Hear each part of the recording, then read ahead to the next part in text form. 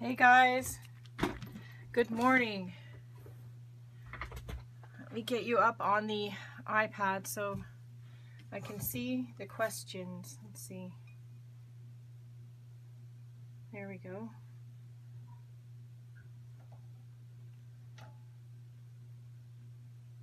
Yay! Hey everybody, good morning. So as pro oh I'm upside down. Why is why am I upside down? Yeah, yeah, yeah, yeah, yeah, yeah. Hello from Italy. Good morning. I don't know why I'm upside down.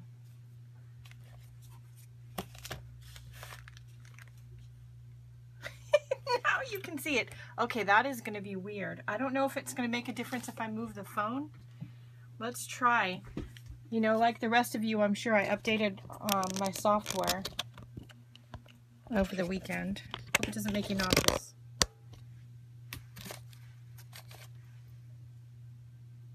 Nope, I'm still upside down. That didn't help, did it? Sorry. I don't know why that is. I guess we're going to have to work with it just being upside down. Hello, Lisa. How are you? So we're upside down this morning. I don't know why. I'm going to turn the finished canvas this way. I don't know why we're... It must have something to do with the iOS 9 update. That's all I can think of. I wanted to get on this morning, which is the first time I had a chance, and answer some of the questions about painting this face. Maybe do another one a little slower, which is going to be challenging because I'm going to have to turn it my canvas this way. So you guys are going to be upside down. I'm sorry about that. Um, I'll be able to flip it, the video, when it goes to YouTube. yeah, but anyway. Do you sell your artwork on eBay or through? I sell my artwork on Etsy. And I have a website I can sell it through too, although I haven't updated that yet. All right. So, good morning, everybody. I'm still drinking my morning coffee, see? First thing we're going to do before we get started, which I forgot Saturday, is we're going to put on some Art Guard to barrier cream. Some of the artist paints I use have um, nasty chemicals in them. So we, hey Mary, how are you? So we're going to try to do our best to prevent any of that getting absorbed through our skin by putting on some barrier cream. You can use Art Guard. There's another one called Invisible Glove. You could wear gloves. I prefer to not wear gloves. So this also makes the, it easier to get the paint off your skin. Yeah. All right. Um, oil painting reproductions. So, first of all, if you're going to do reproductions of somebody else's art, you have to be careful of copyright issues. And um, selling artwork is a really tricky business. I would look into it to somebody who know with somebody who knows more about that than I do. I really do art because I love art. If I can sell a little bit, then I do. And I only sell original pieces of art, not reproductions. Or reprints of my own art. If that's what you mean, then yes, you can, you know, selling reprints of your own art can be pretty profitable. Well, uh, you still might, somebody may still own the copyright on that, so you still have to be careful. All right, so anybody who saw me on Saturday uh, with Pasta Brush, you saw me paint this face. Again, sorry that it's upside down uh, in 10 minutes. I worked on a background like this one. This is just a small canvas. Um, I'm not even sure how big it is. Let's see. Do I have a ruler? I have a ruler. Oh. The canvas is, oh, helps if I'm using the right end, about five and a half by seven. And I already had the day before just collaged a few bits of scraps of paper on it and put some painty marks um, and then let that dry and um, as you know sort of a mixed media background and that was what we got started on for the face. One of the main questions when I saw the replay was what kind of paint I used. So here you can see my pile of paint. I have lots of different brands of paint. I really don't stick to any one brand of paint. Um, I have everything from a student grade um, generic brand of artist acrylic. This is by Art District, which is an Aaron Brothers art and framing brand. Aaron Brothers is a subsidiary of Michaels. Um, Liquitex Basics. I also have Liquitex Heavy Body. This is just titanium white. This is brilliant yellow green. This is quinacridone blue violet. I do sell prints of my artwork. Uh, again, you have to look on my Etsy shop. Um, this is Amsterdam acrylic turquoise green. This is Atelier brand, um, which is, is it an Australian brand? Yeah, it's an Australian brand. I had I got this from Utrecht, and I have Payne's Gray and Allure, Alumide. I can never pronounce that. I don't know. Alumide? Yellow light. I don't know. A-R-Y-L-A-M-I-D-E. Yellow light. This is a Schmincke acrylic. Schmincke, the same people who make watercolor paint. I was going to prints. There's a print. There is, and I have printed some giclee prints before. Um, I also print reprint on a number of different kinds of paper, including uh, metallic paper, which gives some of my artwork a really interesting finish when it's being reprinted. Um, I use a local photography um, reprint studio called Bay Photo, um, and um, they do reprints for me on demand of my artwork, and then I sell those on Etsy. I also have um, uh, some artwork that is, you know, a uh, JPEG upload. Um, and uh, I really don't keep a lot of it in stock. I do it on demand, whatever the customer wants. Okay, so this is a Schmincke, and this is Carmine. And this is a sample tube. They sent me a sample, and I gotta say, I've never tried the Schmincke acrylics before. Um, yeah, I really love them. This little bit of red is so highly pigmented. And this is a Joe, Jo Sonja paint, uh, Chroma's Jo Sonja. This is made in the USA. This again I got I think at utrecht.com. This is amethyst. And these are the these are the colors I used on Saturday. Um, I also said on Saturday that I tend to use faces from magazine images, uh, for magazine layouts, for suggestion and inspiration for position and proportion and features. Although I am by no stretch a realistic painter. This is just so that I can sort of get something that resembles a face. Um, I am um, an expressive abstract painter, so I don't generally do anything that's too realistic, and that's off camera that way um, where I can see it. Now we're going to set up our palette first. the way I usually set my palette up, good morning everybody, um, is I usually put my white in the center You know, I'm not sure. I would definitely um, check into it though because you don't want to get started selling um, reproductions of their paintings and then get in trouble. So.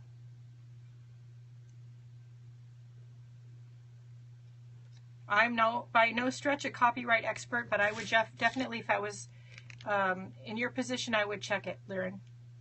Okay, so I usually put my sort of light colors together. I do not put things in like color wheel order. This is like Gina Gina's color wheel order. All right.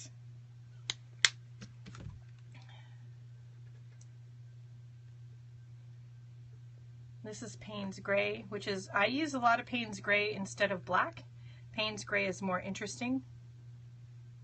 If you guys have any questions, let me know.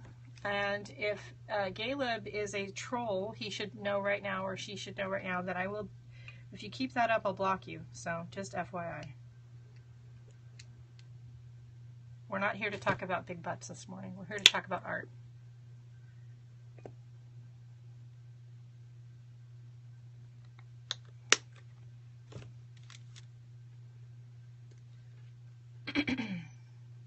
I think it was Lisa. It pops up again, I'll block it unless one of you guys have done it already. Yeah. All right, so now we have our palette set up. Periscope. Make a sound when someone comes on. I don't know. Oh, thank you, Miko. I appreciate that so much. It's good to have peeps out there that can do that stuff for me. I'm going to throw this paint tubes on the floor. Hang on. Ugh. So they're out of my way. All right. Okie dokie. Okay, so curious about my setup before we get started. That's a good question. So I have my iPad, which you can see in the corner of the screen, and I am logged in as you guys are. Um, and I'm watching the broadcast with the um, with the um, comments. And um, can you guys hear me okay? Sorry, I bumped the camera. Okay. Um, I have my phone hanging in a cradle above my work table, pointing down at the work table so that um, that's what I'm filming with, my iPhone. I do have pictures of that, and I can uh, post them to my um, social media later. Um, if you're in my Facebook group, um, if you're in my face, we will in a minute. If you're in my Facebook group, um, I you can look in there, and I will put post pictures there. But I have a cradle hanging off the shelf above my work table, and my phone is um, hanging in the cradle, pointing down at the table, and I film with that. But I'm able to see with the iPad. All right. So looking at my inspiration photo, I'm going to start with Payne's Gray and I'm going to start outlining my face. And I'm going to actually put this one away, and even though I use the same inspiration photo, I can guarantee you no two of these ever come out the same. So I'm going to set that aside, and we'll compare it later, but I can pretty much guarantee you it's not going to come out the same. This is a small filbert, before somebody asks. You're welcome. Um, and I don't know what size filbert this is, but it's just a little tiny filbert brush. So I'm going to start with the forehead. And you know what? I'm going to put this down here so you guys can see what I'm doing. So I'm, I'm just looking at the lines here of the forehead. yeah, it looks like a little number four. It's a small one. Yeah. So then I'm going to put the bridge of the nose here. And I may not get the lines exactly in the right place the first time. That's okay.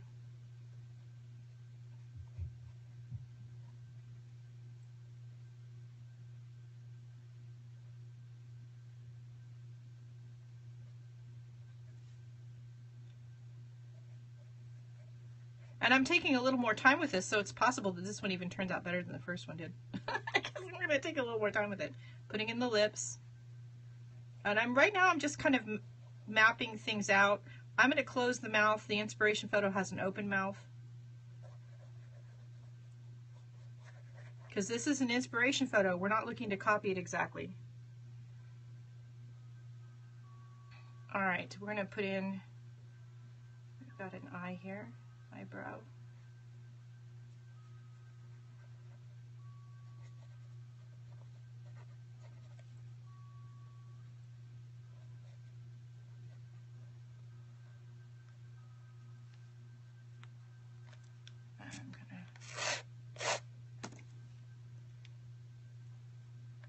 I know you're thinking, oh my God, what did she do? I just gave it some interest there, blurred my lines a little bit.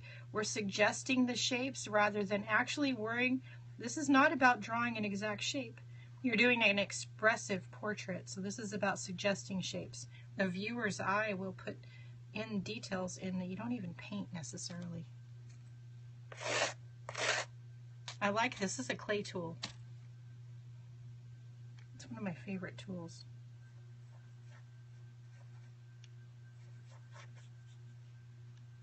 Thank you, Mary. I saw that comment. Appreciate that.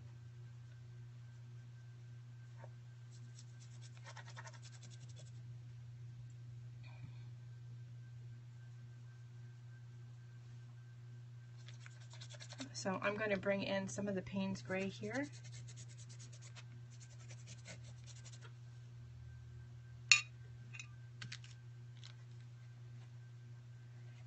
Think that was even less time than Saturday getting my fingers involved in the painting process.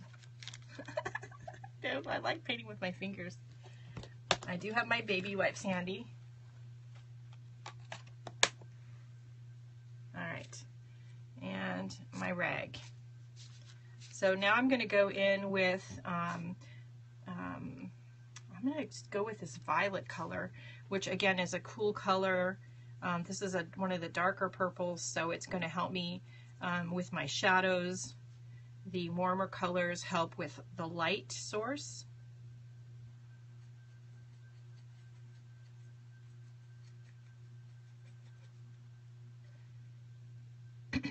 I'm looking at all the places in the inspiration photo where there's shadow, where things are darker.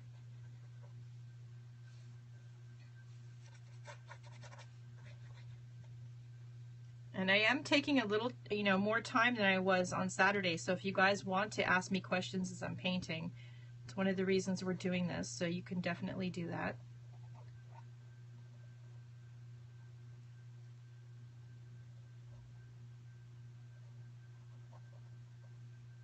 You may start to lose some of your features. You bring, you'll bring them back.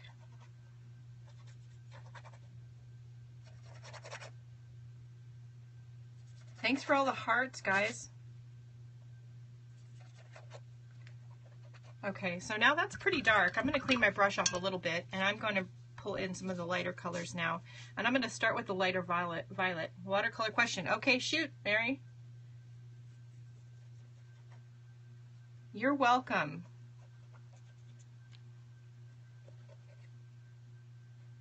So now this is a warmer violet. These are both purple colors, but this one is much warmer than the other one. So this one I'm going to use to help me with my light parts, indicating sunlight and warmth, the brightness in the photo.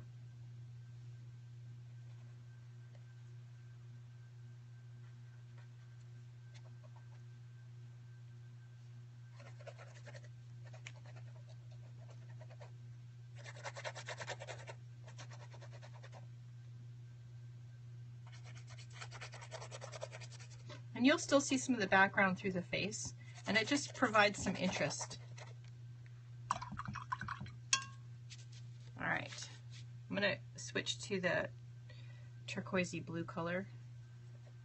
One of my favorite colors to paint with. Again, uh, this is um, a warmer color than the other ones that we're using.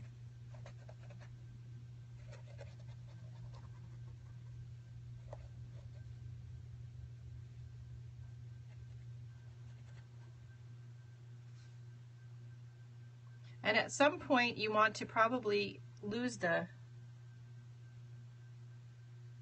No, the Koi and the Kuretake, because they're more of a student grade paint, are more opaque than the Daniel Smith and Winsor Newton. You're not imagining things.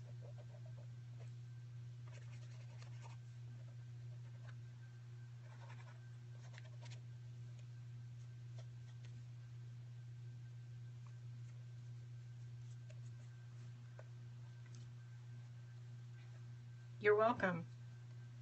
All right, so now I'm just lightening up the spots, some spots. We don't want to get her too dark here.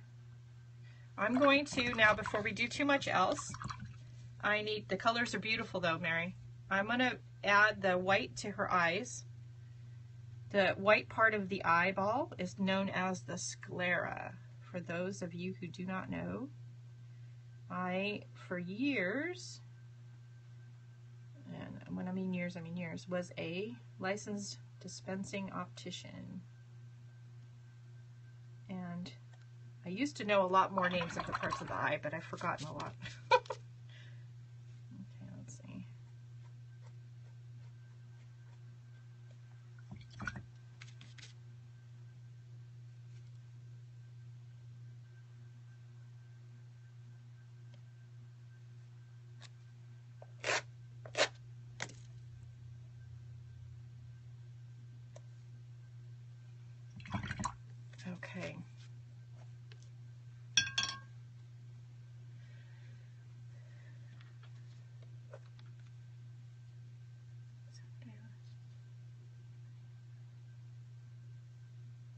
When do you know when to stop? Okay, so, you know, I get asked that question a lot. I have a hard time stopping. Usually I stop when it goes to its forever home.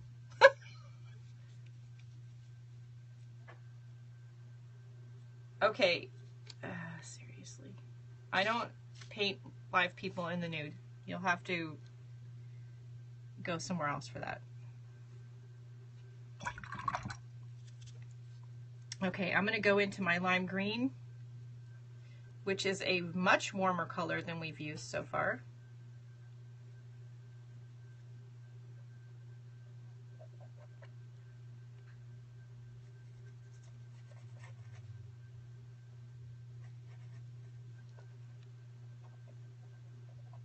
And don't be afraid to, you know, mess up and put the wrong color in the wrong place because this is all about playing and experimenting, and especially if you're doing a timed exercise.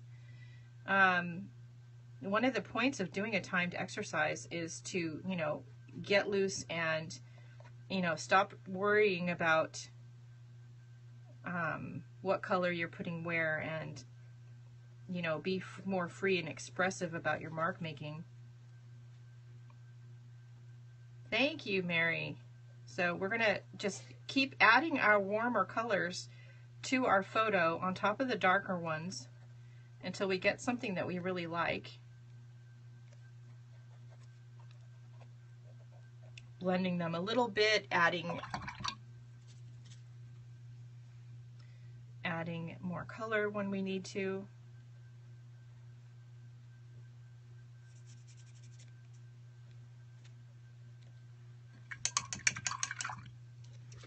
I do want to grab my Stabilo pencil because I'll want to be using that at some point. I'm going to go in now with the lemon yellow. Let's see.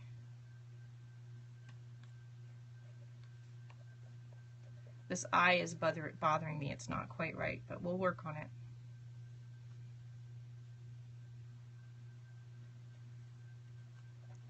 There's always some part of the face that when you're doing this, and especially when you're painting in these non-traditional, non-lifelike colors, that's going to give you like fits. There's going to be some part of the face that you're going to have to like keep going back to and working on because you're just, it's just not quite right. There's always one part. Um, at some point too, you want to leave the inspiration photo set aside because you need to work on the painting on its own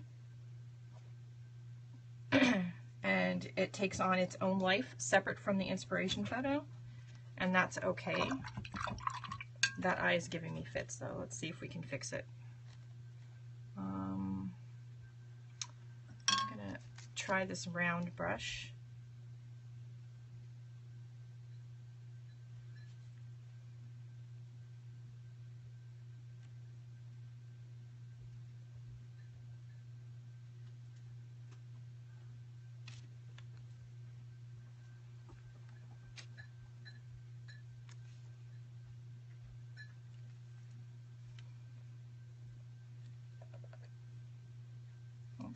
Actually.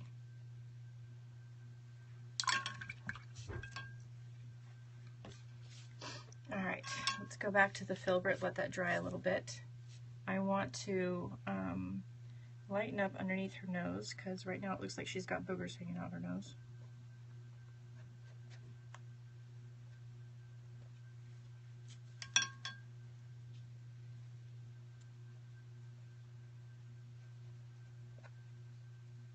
And don't forget, you know, you've got your baby wipe, and if you get some paint in the totally the wrong place, you know, my background, my mixed media background's completely dry. I could rub it with a baby wipe and all that paint's gonna come right off. That's my dog. There's probably somebody out in the front yard. So I had the idea this weekend, if you guys want to, we're going to do some sort of a weekly art lesson and I may even, and I can't guarantee I'll do them every week, but I was thinking maybe even we would do like Watercolor Wednesday live.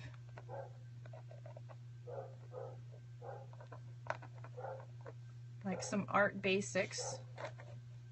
That's pretty good. She's pretty good. I like that. You like that idea? Okay, good.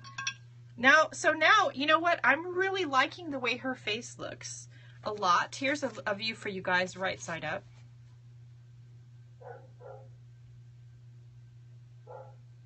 And at least for the moment, I'm not wanting to touch her.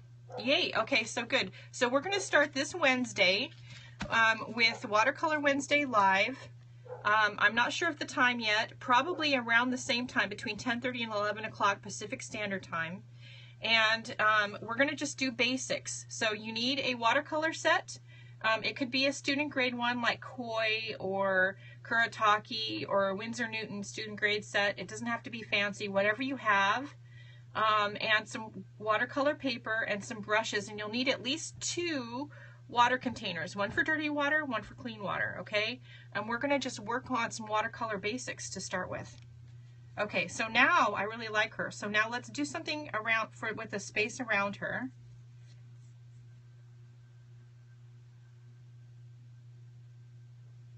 Tap the area above the little person on your the right lower right hand side of your screen and a bunch of hearts will pop up. So now I'm going to just hint at some, you know, hair around her face. And I'm going to use the purple, at least to start with. The two purples, I should say, not just the one purple.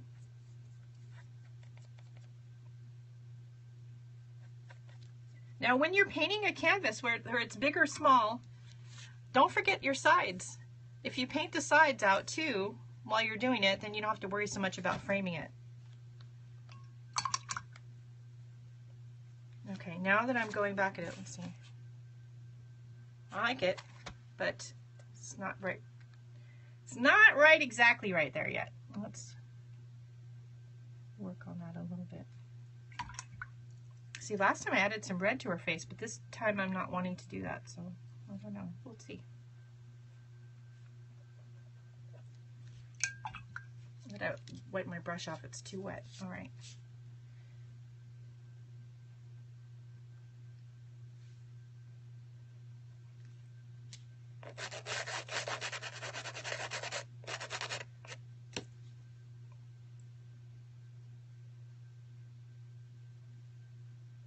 Oh, yeah, that's good. That's good to tell them. Thank you.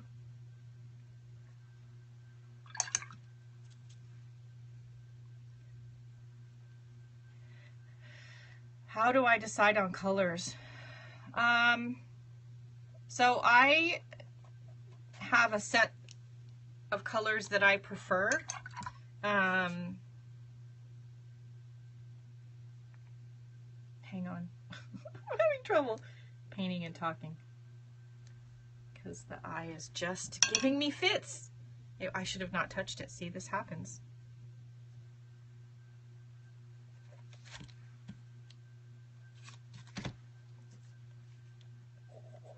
So I have a, a, standard kind of set of colors that I prefer.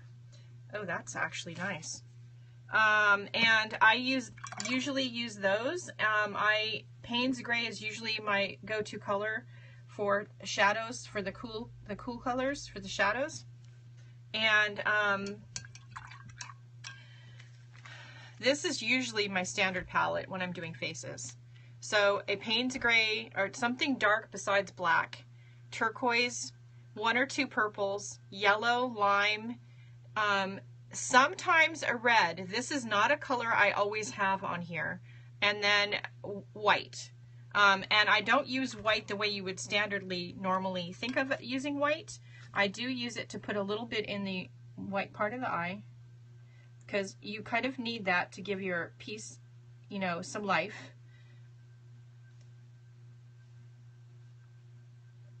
If you add just, you know, a little, it doesn't have to be a lot. In fact, if you put too much, um, you'll tell you'll be able to tell that they're you know you'll know right away. That's why you should have your have your thumb or baby wipe ready.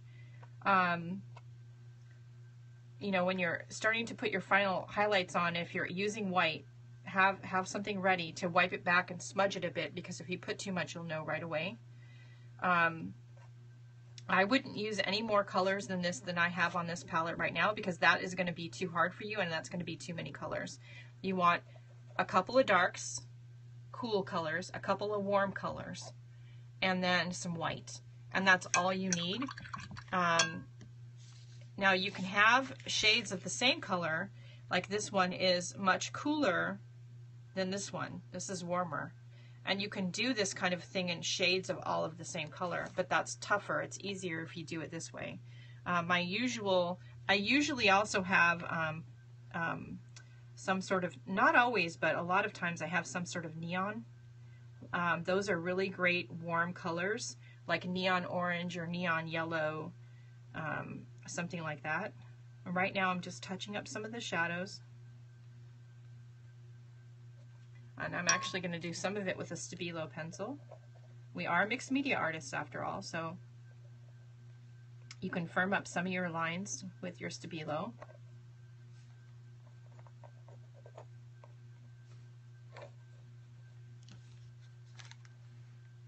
I really like that. She's turning out great. I love her. Okay, so now I don't want to mess with her face anymore because I'm really liking the way she's looking.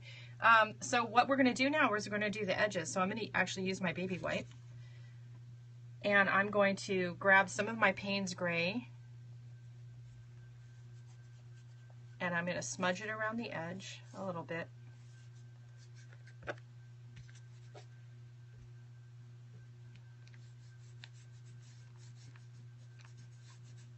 And you can use, you know, your finger, a paintbrush, a makeup sponge. I think on Saturday I used the makeup sponge.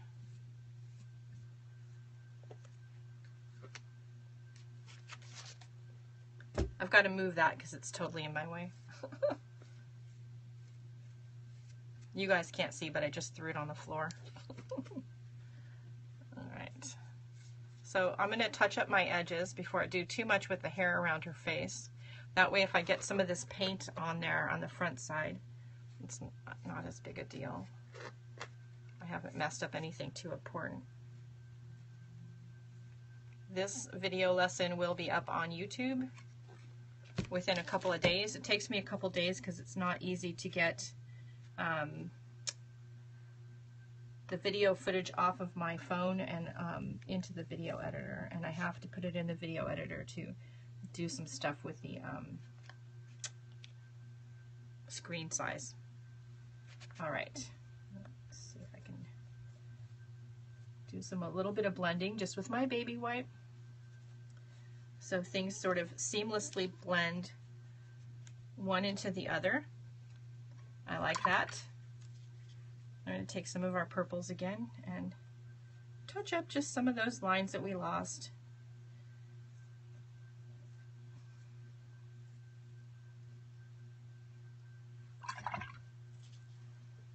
See, I, I ended up not using that red.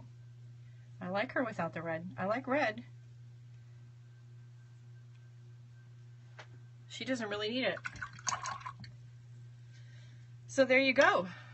That's how I did the painting from Saturday. Now, I took obviously more minutes to do this one than I did the one on Saturday, but I did use the same inspiration photo, and there's how different they both look. Let me move them a little bit. Let's see. There we go. Yes, okay.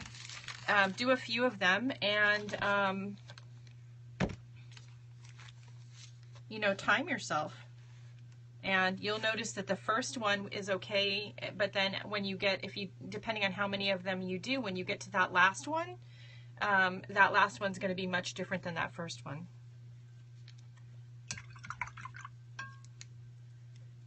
I am noticing that I want to take a little bit of the Payne's Gray and the turquoise together on the same brush. Just a little bit. Yep. So also don't be afraid to, you know, turn your paintings upside down, even if it's a face.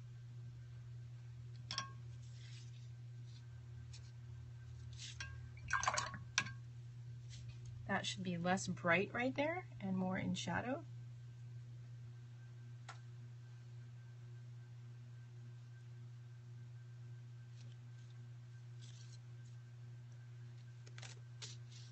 You're welcome. Does anybody have any questions? And all this extra paint gets wiped off onto a journal page or something. Never fear. It doesn't ever go to waste. In fact, I've got a paint on some of my fabric that's on my um, table here today.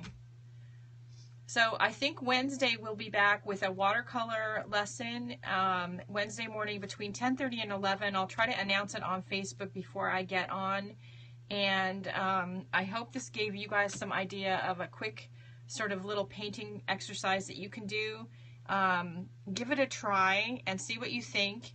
You need two or three cool colors um, from the color wheel. So look at your color wheel and look at the paints that you have. Here's a, one of my color wheels. And so for the most part, like, you know, these are going to be your cooler colors that will help you indicate shadow and um, um, and coldness and darkness. And then these colors will help indicate sunlight and warmth fluorescent orange and fluorescent yeah, uh, pink is a great one, great two great colors to use, but I would suggest um, two or three cool colors and two or three warm colors, and then just really start laying layering your marks on top of each other until you get something that you're really happy with. And uh, that's it for today, I think, unless any, somebody has any more questions.